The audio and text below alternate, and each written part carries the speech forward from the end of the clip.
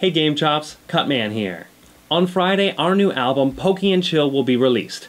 It's a 16 track Pokemon remix album produced by Mikel, the beatmaker behind Zelda and Chill. Pre orders and pre saves are a huge help for us, so thank you to anybody who takes the moment to do it. We've got vinyl, CDs, even cassette tapes available on our Bandcamp. And if you're not into any of that, don't worry, the entire album will be uploaded onto this channel on Friday.